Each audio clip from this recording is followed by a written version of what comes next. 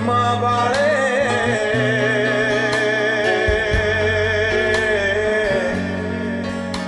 ਉਸ ਇੱਕ ਥਾਂ ਤੋਂ ਆਏ ਨੇ। ਭਾਵੇਂ ਕੋਈ ਸੰਸਾਰੀ ਹੈ ਤੇ ਭਾਵੇਂ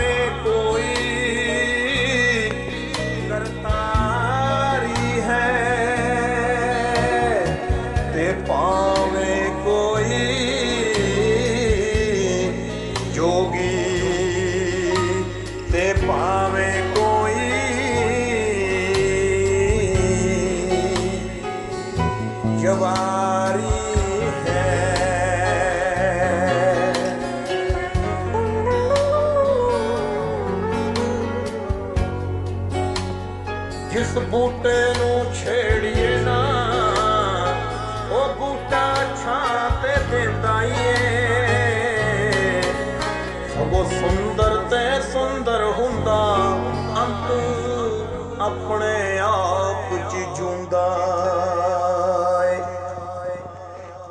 ਬੂਟੇ ਨੂੰ ਵੱਢੀਏ ਨਾ, ਤੇ ਬੂਟਾ ਭਰਪੂਰ ਹੈ।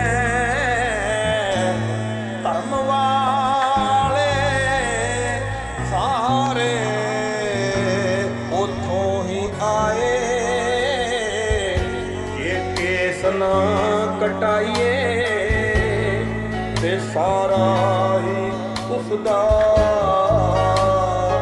ਸਰੂਪ ਹਾਂ ਤੇ ਸਾਰੇ ਉਸਦਾ ਹੀ ਸਰੂਪ ਹਾਂ ਤੇ ਇੱਕ ਬਾਤ ਪਿਤਾ ਦੇ ਆਪਾਂ ਵੇ ਲਾਡਿਆ